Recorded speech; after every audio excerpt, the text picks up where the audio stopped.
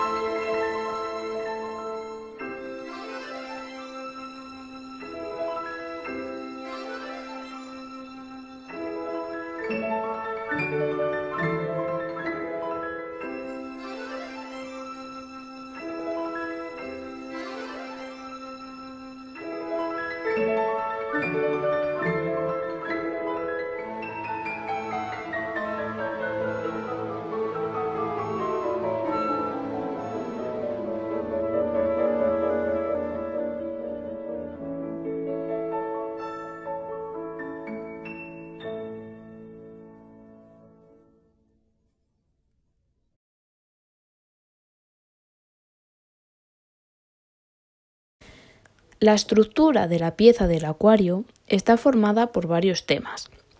El tema A cuenta con la melodía de violines y piano, creando una atmósfera y un ambiente mágico. El tema B se caracteriza por un ritmo a semicorcheas, que va haciendo un piano de manera descendente. Después se vuelve a repetir el tema A y B. A continuación aparece el tema C, que está representado por el rayo característico de Harry Potter, donde se escucha de nuevo la melodía principal pero con pequeñas modificaciones. Por último aparece el tema D, donde destaca la armónica como instrumento principal. Y finalmente aparecen todos los instrumentos de la obra. Como actividad vamos a crear instrumentos caseros o a utilizar objetos de casa para interpretar la pieza del acuario. Mira cómo lo he hecho yo.